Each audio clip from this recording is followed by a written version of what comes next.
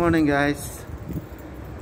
Another vlog today Palabas na naman tayo sa accommodation. Ah, Keep safe everyone. Sana nasa mabuti kayong kalagayan lahat guys.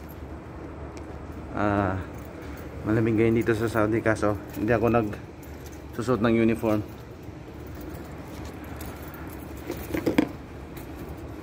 Kasi kaya ko pa naman yung lamig.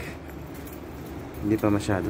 So ito yung bahay Kasi Ayan, palabas ulit ako ng ano. Malabas kami ng gate.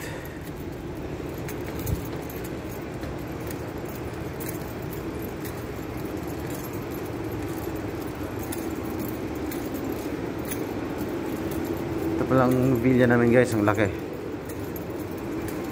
Lahat ng taga Kuunzo nandito nakatira So now Buksan ulit natin yung door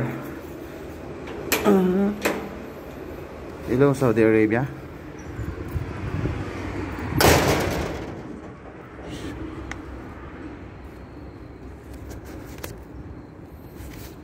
Ayan sila. Ayan. Ayan. Kasama ko. Magaling magluto. Ayan yung tatlo Si Panot Ayun, ang dalawang Ah. araw. Dalawa araw, tatlo. Reflection. Ito yung sasakyan namin, coaster. Ang ano ba, yung nagsona?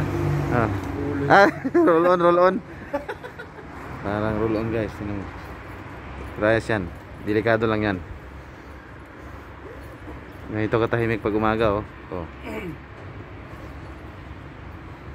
Oh Yan oh, lumabas na si Bicep. Okay. Yan lang, daily vlog, daily vlog. In-upload mo? Bukas ulit